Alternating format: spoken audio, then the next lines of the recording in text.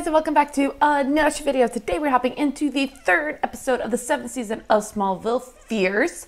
Um, last time we were, Clark was introduced to Kara and uh, she is now on the farm. Of course, everybody knows that she's Supergirl and they went after her ship, but now the government has the ship and um, or had the ship, but it disappeared and they have the crystal now. Um, so that'll be interesting to see how they find the crystal again and everything like that. It's interesting that now they're bringing in like the government to be a part of it and not just Lex. So that's gonna be fun to see. We also got to see Lana in China and Lex uh, basically tracked her down and we got to see how she survived and she basically like took the clone that Lex creepily made of her and uh, blew the clone up so she could escape.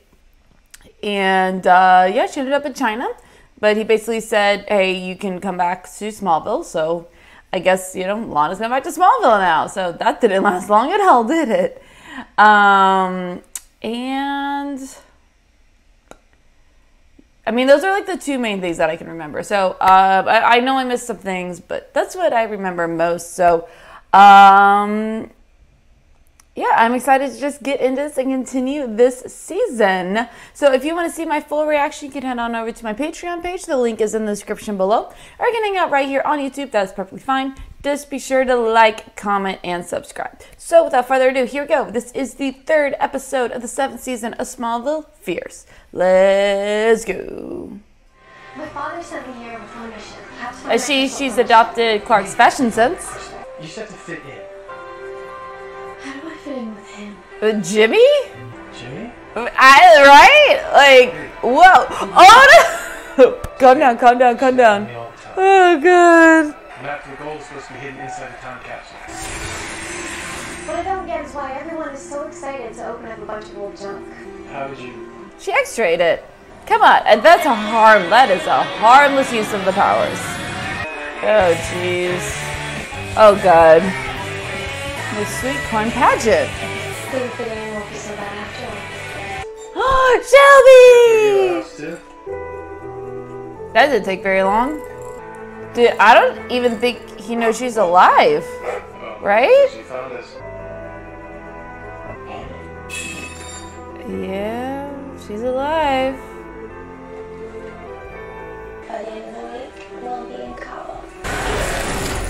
Oh, shit! Clark, I'm so sorry. I was trying to protect you. Oh, the irony of that statement. You're gonna rush in there and try and save someone, even if it means putting your own life in danger. Yeah, it's who he is. Yeah, it's a little ironic hearing someone else say that. At least Clark and I are on the same page. Being the one that needs to be protected. That's true. Then you stay here at the farm with me. But I have to warn you, my life has become a little more yeah, there's a girl in a bikini walking around your house right now. complicated. Well, this is my cousin, Kara. Say hello to the next Miss Sweet Corn. Uh, when I talked about fitting in, I was thinking something with more clothes. This is definitely not blending in. Fine. You said no. I guess I don't have to ask which side of the family you come from. Yeah, that's true. I was stuck in some cryogenic coffin, wasting the best years of my life. I don't want to miss out on anything else. And if you're anything like me, you're gonna do this whether I want you to or not. Mm-hmm. But until you learn to control your abilities. Okay, fair compromise. At least you're being at least a little bit reasonable. Like, let her have some fun. Nice. Talk about control. Let's see you put a mug in this melon. Yeah, she doesn't have control of that quite yet. You're not ready. And out on that stage, there's too many things that can go wrong. You want me to fit in? No problem. But I'll do it my way. There's no problem. I take care of it. I was wondering, yours looks so good. Do you help me? I'm sorry, sweetie, but you need help with more than just your makeup. Ouch! Like corn or something. What are you talking about? She's gorgeous. I don't know what they're talking about. Oh! I understand that you're a man. Uh, the, the Medusa photo. Town. Now, why would the government be interested? Because you are. That's a legit reason right there. I mean, he's interested in all kinds of things. Whenever I mentioned I'm really glad you're back. Me too. I'm glad Jimmy's back. Preparing gifts. There you go. the sweet corn contestants just icing like popsicle. This has media freak written all over it. Frosted Beauty Queen! Jimmy Olsen. Right! Panda Boy, good. Photograph. Listen. Tomato, tomato. Hustle down to Smallville. Take Panda Boy with you. Get this Cloister? on Ice Princess. Before any of the other papers, you might just get to follow in your cousin's footsteps. How much blunt trauma do you think a statement to the back of the head would cause? Show 'em what you got, poster. Oh god. I'm glad Vera just as annoyed with him as I am. Clark, don't you think you're being a little hard on Kara? Right now, she's about a fireball away from lighting up the whole town. This is how you've had to live your whole life, isn't it? Hiding. Yeah. I'm adjusting. Sooner or later, Kara's gonna figure out how to do the same thing. Your parents trusted you enough to live your life and find that balance on your own. Don't you think Kara deserves the same chance? All the conversations I imagine having with you about my powers. This was not one of them. No, right? Absolutely not. Can't believe every word that you would understand. Looks like you don't know me as well as you thought you did. Are you sure no one saw you? She wanted out. But that's what I'm supposed to do, huh? Maybe not kill her? Time capsule and go home. Just stick to the plan. Well, you're down a girl, so. Do your thing. Ice Girl is icing Iceman. We need to honor our time. Well, I guess it's his brother that's ice. You get my.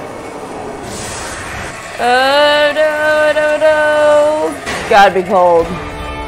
Uh, a little, mommy's a little discretion there, girl. Lex, what are you doing here? You haven't been here in years. Don't sit down. You won't be staying long. Oh, damn. The DA has agreed to not press charges. The evidence has been destroyed. You're free woman. All right, so that solves that problem. I suppose I can ask you to somehow see that every horrible thing I did was because I truly do love you. She not listen to that anymore. You can't test that. Nope. Of course. You faked a pregnancy to get her to marry you. Like that's unforgivable. I don't want your money.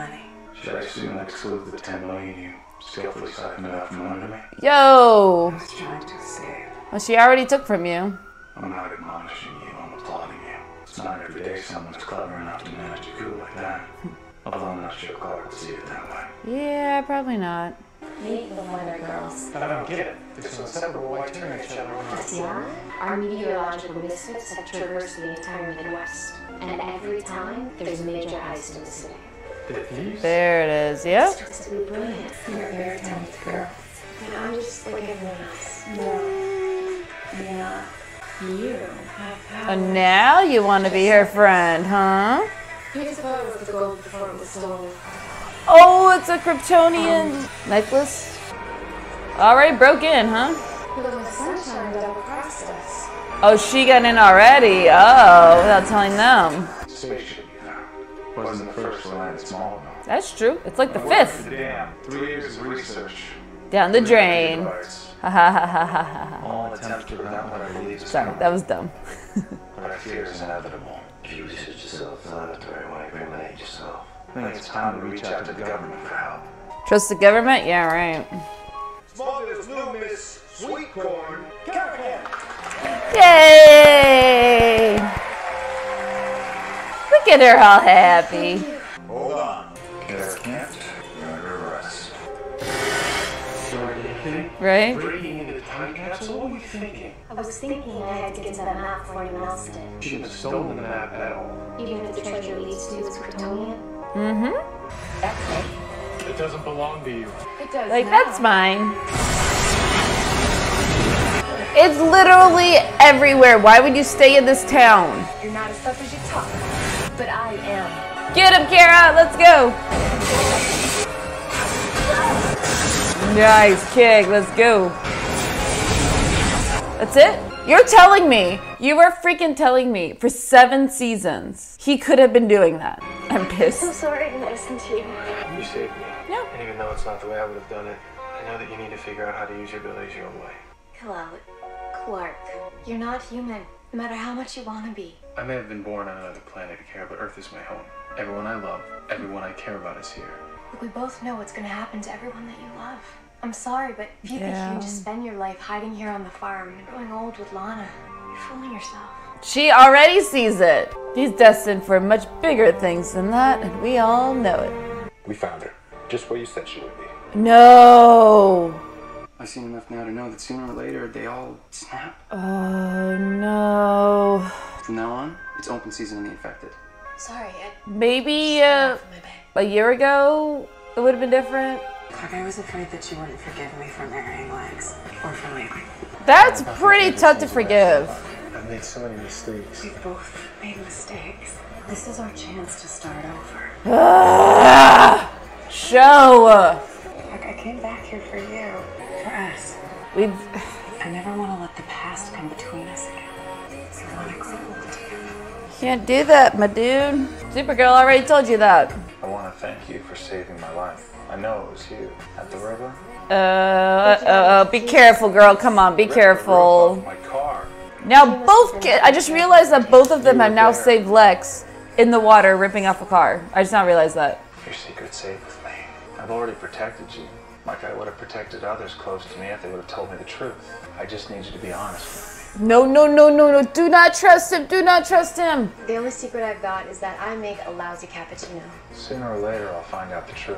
Make it later. Make it later. Make it later. Or are you a warning? All right, let's go and talk about it. Well, that was the third episode of the seventh season of Smallville Fierce. Um, I thought it was an okay episode. Not my favorite. Definitely my least favorite so far of the season. To be honest, I get kind of bored in the middle of it. I'm not gonna lie. Um, the Powerpuff Girls, just that whole storyline, just kind of really bored me. I didn't care. They were so generic bad guy villain. Like this really felt like a season two or three villains that that came into this. To be honest, like um, I do like the idea though of Kara trying to um, adjust to this new world that she's in, and Clark trying to help her and. And I loved the scene with uh, in the barn with the watermelon. Thought that was great. It definitely reminded me and brought me back to scenes um, you know, with Clark and his dad. So, you know, all of a sudden Clark is taking on this Jonathan role with uh, Kara, and that's awesome. Like, I love that dynamic. It's a new dynamic that we get to see Clark in. It definitely goes back to episodes when he's dealing with children. And just, he's great about it. And I love the fact that he, um, I do love, and it goes to the scene in the kitchen with, with Clark and Lana when she's like, you gotta let her you gotta find that balance or you gotta let her go out and live her life you can't control her forever like you gotta let her make this make these decisions. And um, it's a very uh, mature way of thinking. And it was a great thing that uh, clark needed to hear. And i'm really glad she said it because you know she's supposed to be a teenager. So i mean she just wants to fit in. She wants to have some fun. She wants to find herself. And I understand Clark's apprehension because he has been living on Earth his whole life or most of his life. And sorry, hold on. Need some water. Um, and he's just been trying to hide everything. So I understand him not wanting her to blow his cover, but also, you know, I agree that he needs to loosen the leash a little bit here. Um, I just didn't like the villains. I did like the plot line of everything like that. Maybe the Kryptonian symbol thing will come into play. Uh, basically, now more Kryptonians have been on Earth before. Like, how many do we have? Because he's the last son of Krypton. Apparently, he is not. There are a lot um, that have come to Earth before him. So, um, well, I, I, guess we'll see what happens with that. And then we have the government is uh, looking for Kara, and they're asking Lex because he has the Medusa photo of uh, of her, and uh, Lex figures out who it is. So he is narrowing in on the Kents yet again, and of course, the parallels of Kara now saving Clark or saving Lex, and Clark had saved him before. Basically, the same way of like ripping off the roof of a car to get him out from underwater. Um, so that was cool. Um, so that's a cool like parallel. I thought the show did that. I really like. Um, like like the little nuances of it and the little things I liked, but the general overall story arc of this episode I didn't like. I just found the whole pageant thing and the Powerpuff Girls really boring. I didn't care. Like they like they were taken down so quickly. And on top of that, you are telling me, show, that Clark could have just heat visioned. He could have just seen the kryptonite and just heat visioned it and exploded and everything would have been fine.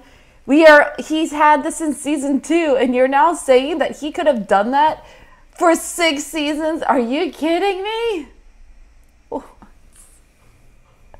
Inconsistencies. What is happening?